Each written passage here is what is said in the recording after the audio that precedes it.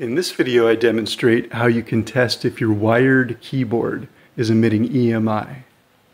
Now to do this I use an AM radio and I have it on the AM dial all the way over to the right which is measuring EMI at about 2 megahertz. So let's see what happens with this first keyboard.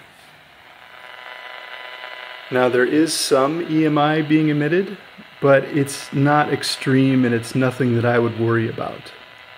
But as we move over to the second keyboard, there's an extreme amount of EMI being emitted.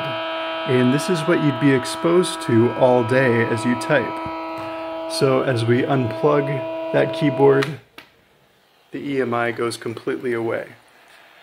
So what you can do is get an AM radio like this and test your keyboard.